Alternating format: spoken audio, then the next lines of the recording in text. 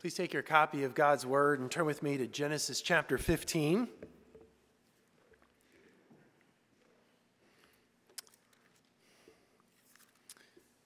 Genesis chapter 15, our text will be all 21 verses that make up this chapter.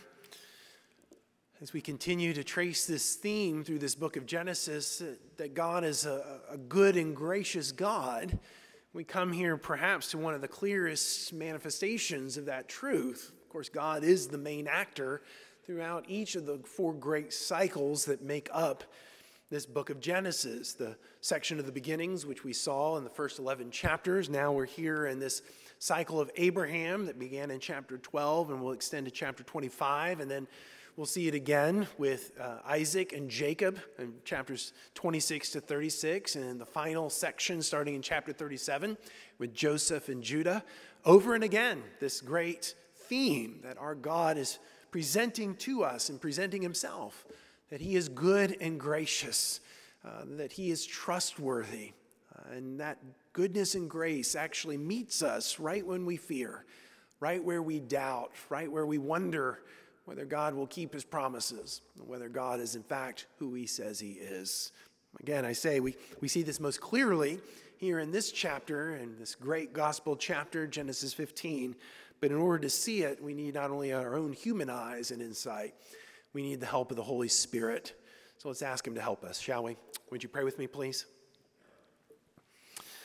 Almighty God, Father, Son, and Holy Spirit, we do come as your people this morning asking that you would grant us your grace that we might see you in the pages of Holy Scripture. Indeed, Holy Spirit, we pray, come, open our eyes of faith that we might see glorious riches in this portion of your word. For we pray it in Jesus' name. Amen. So, Genesis chapter 15, then, beginning in verse 1. After these things, the word of the Lord came to Abram in a vision. Fear not, Abram, I am your shield. Your reward shall be very great. But Abram said, O Lord God, what will you give me? For I continue childless, and the heir of my house is Eliezer of Damascus.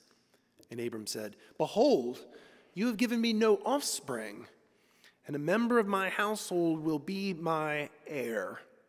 And behold, the word of the Lord came to him this man shall not be your heir. Your very own son shall be your heir. And he brought him outside and said, Look toward the heaven and number the stars if you are able to number them. Then he said to him, So shall your offspring be. And he believed the Lord, and he counted it to him as righteousness. And he said to him, I am the Lord who brought you out from Ur the Chaldeans to give you this land to possess. But he said, O Lord, how am I to know that I shall possess it?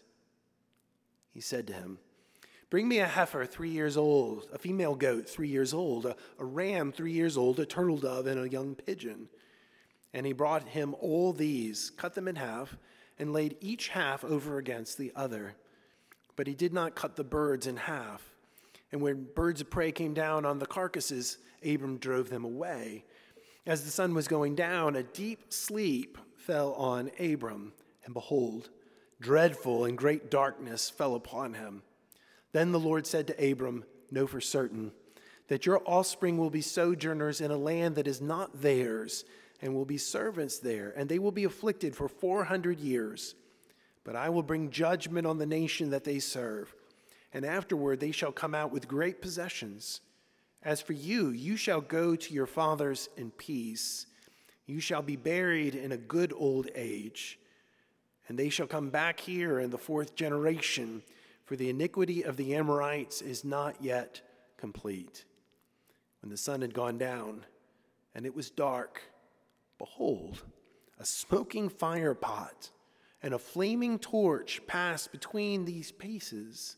On that day, the Lord made a covenant with Abram, saying, To your offspring I give this land, from the river of Egypt to the great river, the river Euphrates, the land of the Canaanite, the Kenites, and the Kenizzites, the Kadmonites, the Hittites, the Perizzites, the Rephaim, the Amorites, the Canaanites, the Girgashites, and the Jebusites. This is the word of the Lord. Thanks be to God. So, when my wife Sarah and I were heading off to seminary, Westminster Theological Seminary, uh, eight months married, it was August 1994, I was sent ahead a couple weeks before to do two things. I had two tasks to accomplish on that initial trip. The first was to find a job. And I did find a job at Westminster Seminary Bookstore earning five bucks an hour. What a job. The, second thing I was to do was to find us a place to live. And after scouting around different apartment complexes, I came upon one in Bensalem, Pennsylvania, that was run by a company called Korman Suites. And I showed up in the rental office, and they showed me the model, the model apartment. And I tell you what, that apartment, it was amazing. The carpet, oh, the carpet was plush. And the, and the, the room itself and the rooms connected to the apartment, they were immaculate, uh, tastefully decorated. It was unbelievable. The amenities, they were amazing. I couldn't wait after five minutes, though I was twice as much as what we were paying in Indiana. And remember, I was only making five bucks an hour. I signed on the dotted line eager to move into our new apartment, excited that I accomplished my task. Two weeks later, we came with our moving van and our uh, car on the back and a, and a tow behind it. And I opened the door to lead my newly uh, married bride into our apartment that I had selected. And reality didn't match up to what was promised. The carpets, they were kind of threadbare. And there was actually a couple of stains in the corner and in the living room. Uh, and the walls and the, the room is, itself, well, they didn't look like they had been cleaned after the previous occupants had moved out. And as far as the amenities, well, we never used them. We actually had a first floor end unit apartment with windows that you could open even when they were locked shut. Did I mention that Bensalem's just on the edge of Philadelphia, Pennsylvania? Yeah, it was a nervous time, all because reality didn't match up to what was promised. I wonder, though, I wonder if Abraham felt like at this point here in Genesis 15, as though reality wasn't match, matching up much to what God had promised. After all, this story starts with God promising, I'm going to make of you a great nation. And that means two things children and land. But reality is confronting Abraham right at the place of those promises. Here we are, three chapters later, and Abraham has no children of his own. He thought that perhaps maybe God meant that Lot was to be his heir. But when Lot was offered a place in the promised land, Lot decided not to take Uncle Abraham up on the offer. He made his way out of the promised land. In terms of the land, he had no land of his own. He was a wandering Aramean. He was a nomad living in tents, shepherding sheep and livestock. And so when we come to chapter 15, verse 1, we don't fault Abraham for feeling as though his reality was not matching up to God's promises. And as he surveyed the scene, he had to wonder well, God, how are you going to keep these promises? When? When are you going to keep these promises? God, will you? Will you keep your promises? And even behind those questions are the questions that have really been echoing throughout Genesis, all the way back to the Garden of Eden. The questions that, that Adam and Eve wrestled with God, are you really good? Are you really gracious? God, are you really just? Will you really do what is right? And how will I know? How will I know? Of course, those questions, they're not just the questions of historical figures in the Bible, they're your questions. They're my questions. God, are you really good?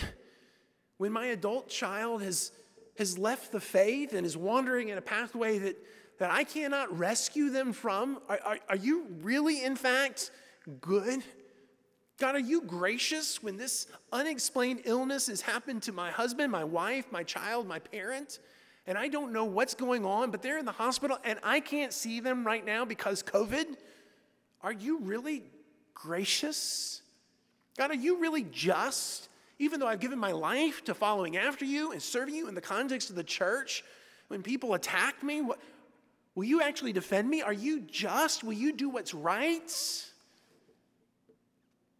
When, when reality, when our reality doesn't match up to what we think God has promised, and we are confronted by this overwhelming flood tide of our circumstances, and when all around us is giving way and, and we feel as though the winds are high and the gales are stormy, the question that rises within us is really can we trust God?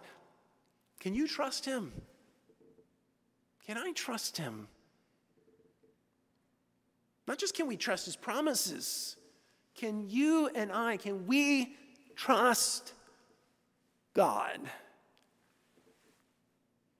And the answer of the Bible here in this place that we've just read together is yes. Yes, we can. Why?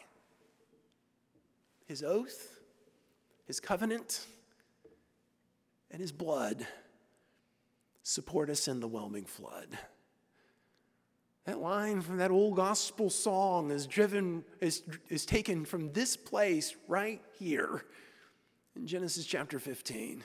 Here are reasons why you and I can trust God when it seems as though our reality is not matching up to what He has promised.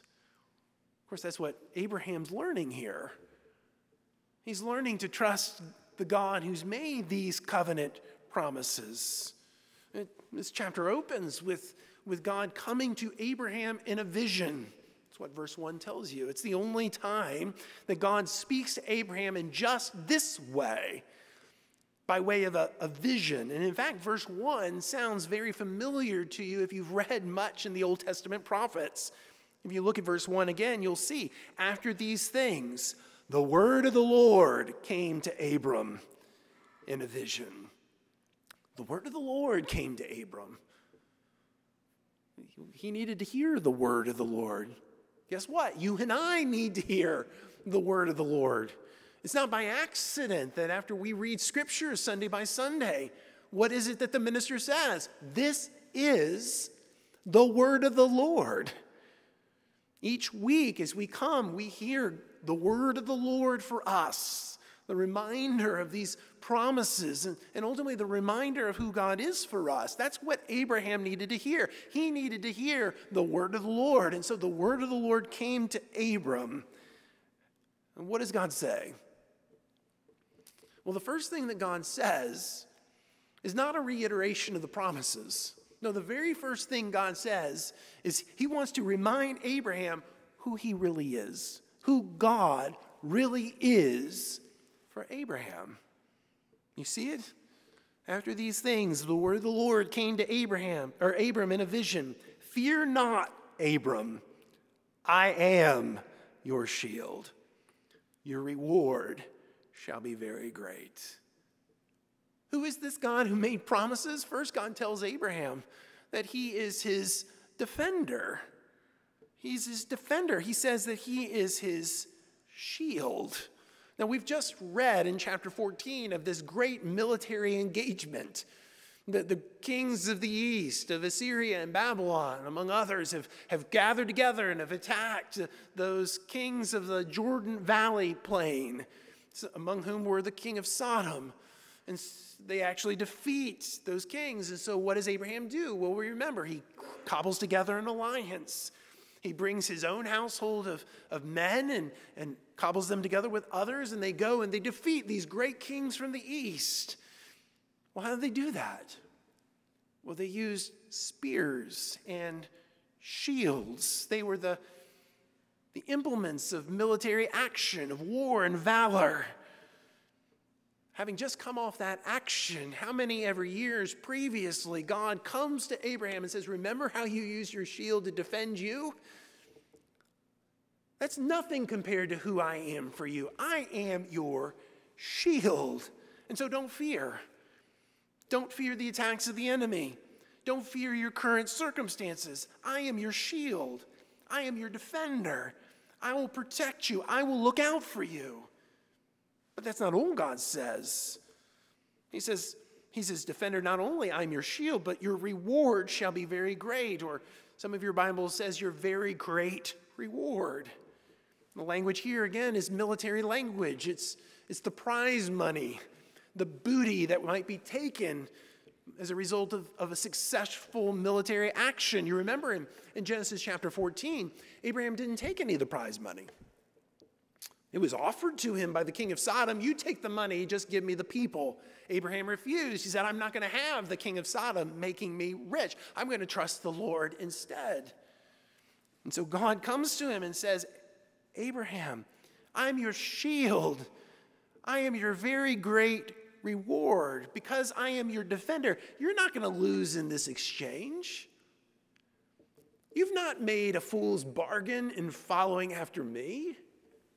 No, I will take care of you. I will look out for your interests. The world looks at us as followers of Jesus Christ and they say, You've made a fool's bargain. You're following after Jesus Christ. You're denying yourself, taking up your cross and following Him. Meanwhile, you're missing all sorts of things that this world offers. You've said no to privilege and power and prestige. Meanwhile, we are enjoying the good things of this world, and you're denying yourself. You're losing, and you're a loser by following in this way. God comes to us here and He says, No, no, you're not a loser in this exchange. Because God will make sure that your interests are looked after.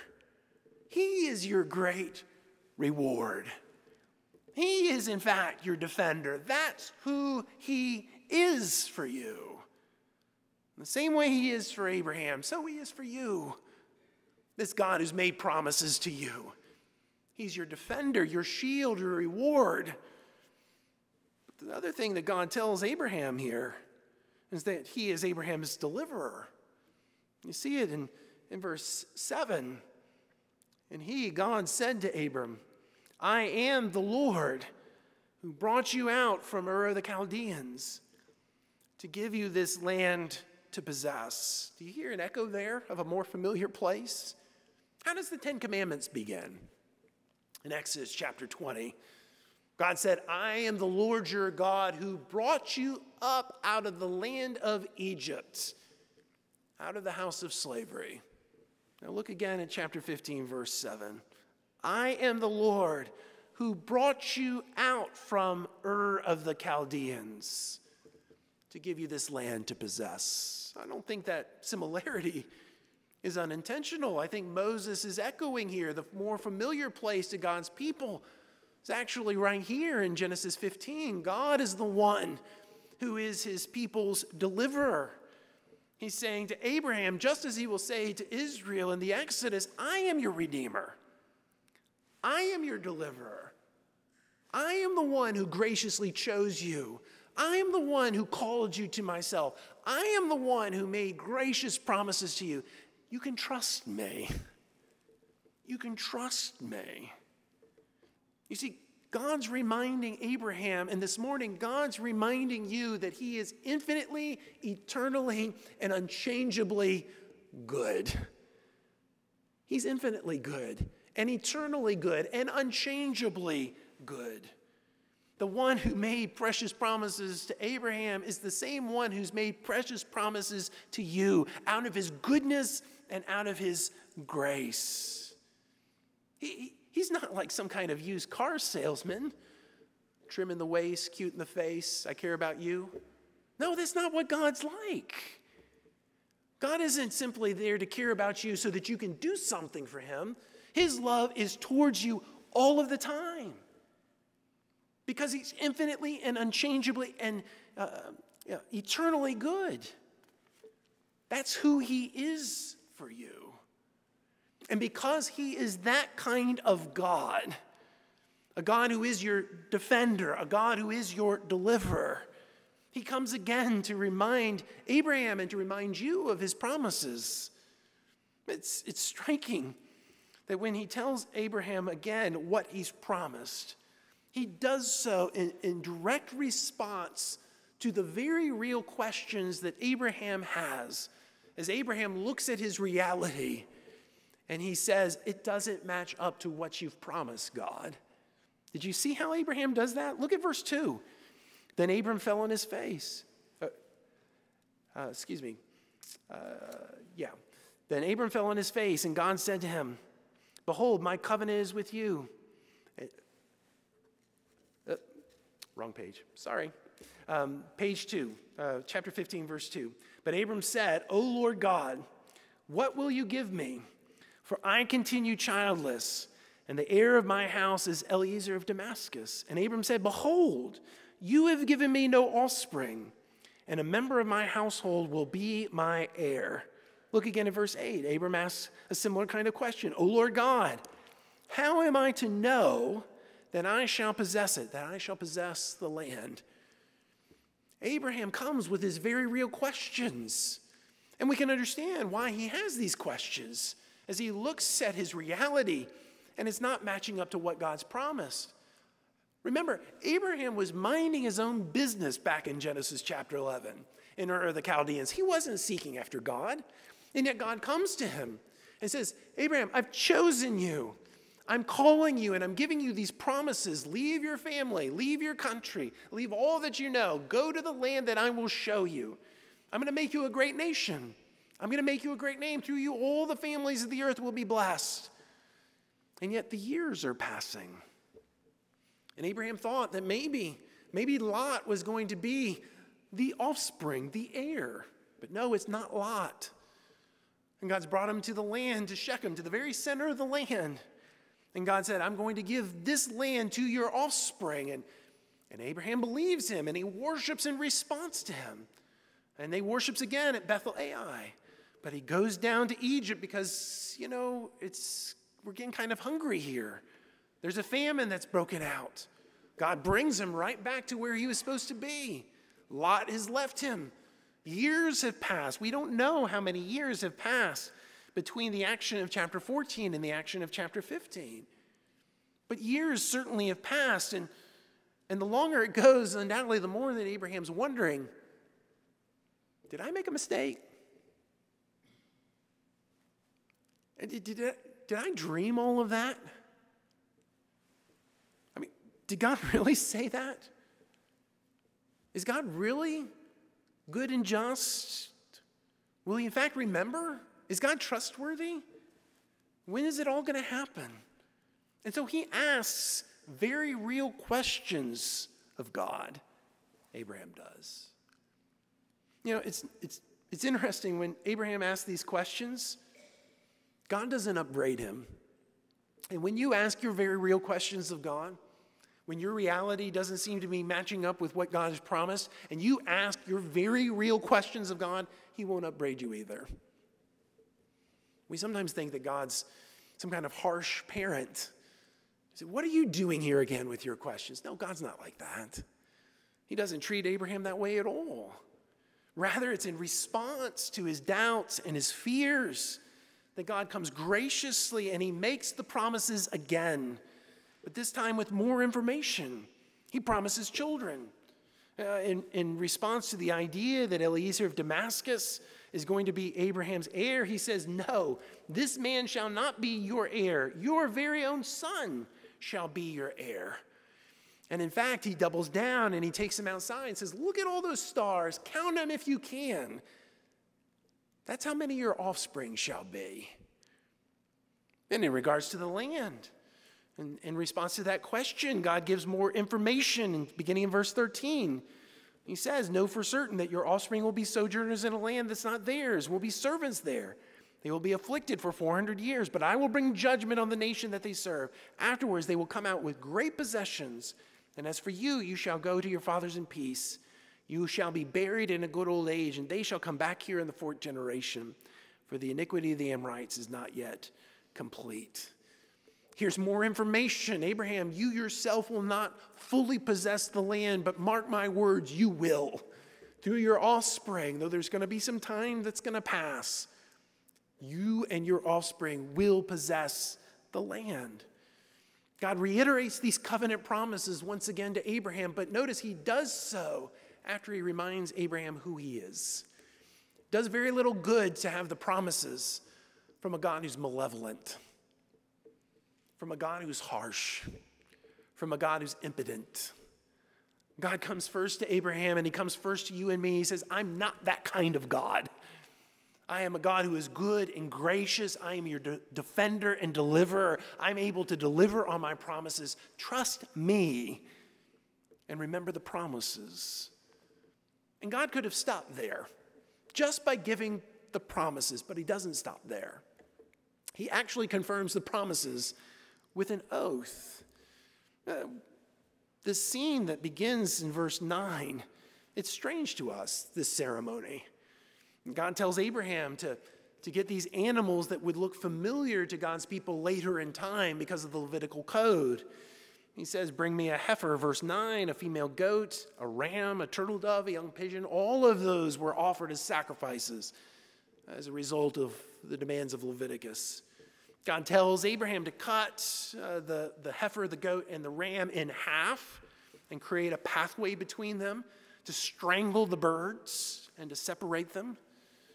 Abraham arranges all of this, protects it until nightfall, and then God causes a deep sleep to come upon him.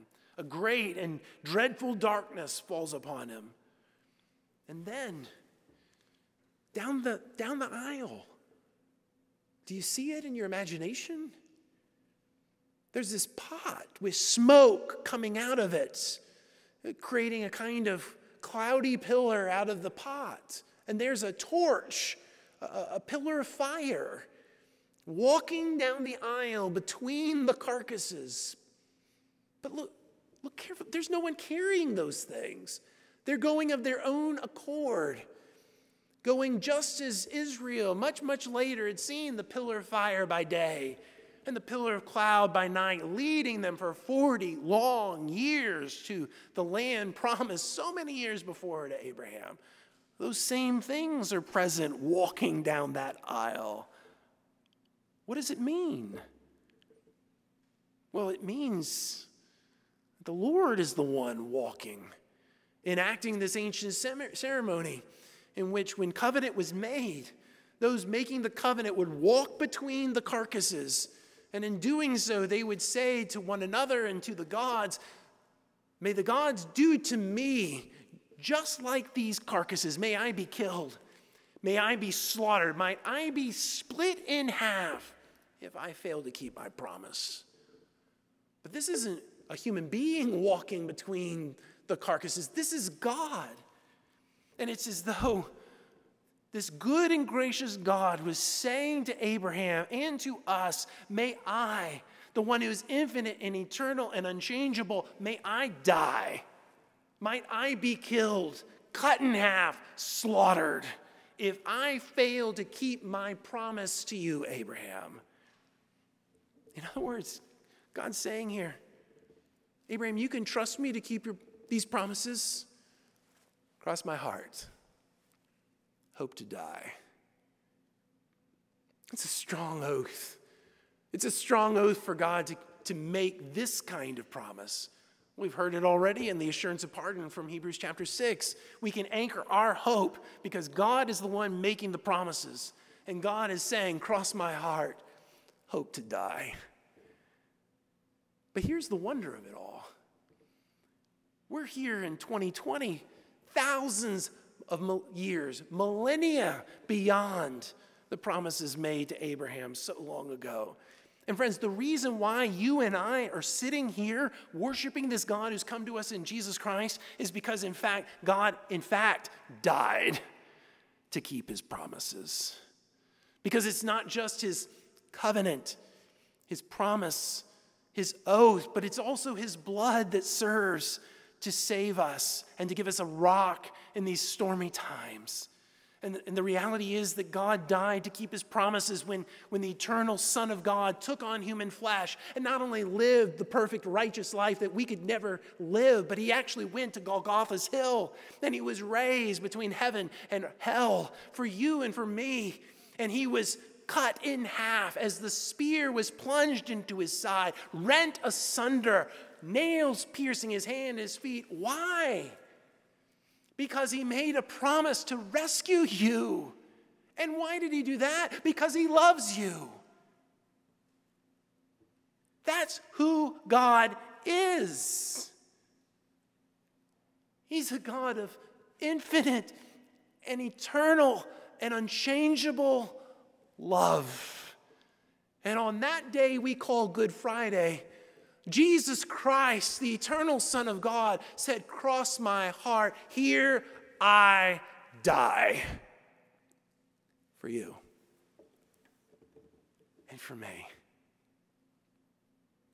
So that in those times when our reality doesn't seem to match up to what God has promised, we take our hearts to the cross and there we see not just what God has done, we see how much God has loved. And so, what's our response to all of this? Well, Abraham models the response for us. It's in verse 6.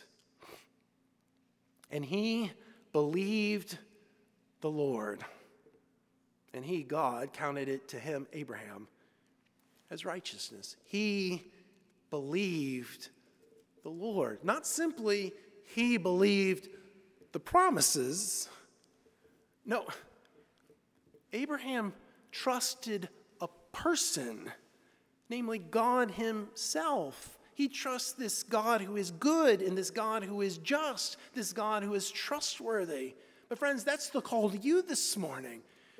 As you're here this morning and you might feel as though your reality is not matching up to what God has promised, but you've seen displayed before you his, his covenant, his oath, his blood.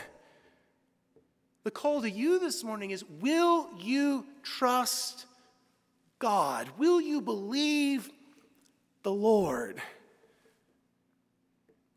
Will you believe that He is good and He is gracious and He is just and He is your defender, and He is your deliverer, and He is for you, and He's coming again for you, and He will keep all of His promises to you.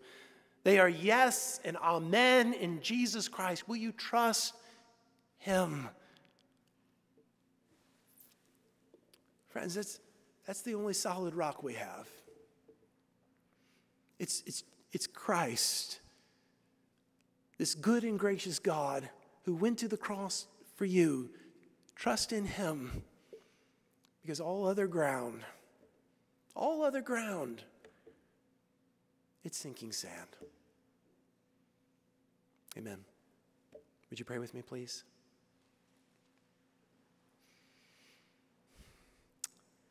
Father, I do pray that you would help me to live into my own sermon, even as together we desire to, to hear the word of the Lord and to obey it. Lord, we desire to trust you, to believe you. Lord, please grant us grace to cling to your oath, your covenant, your blood. But grant us grace to cling to you, knowing that you cling to us. You are the faithful God who will never let go of us. Lord, grant us grace to trust you and to trust you yet more. We pray it in Jesus' name. Amen.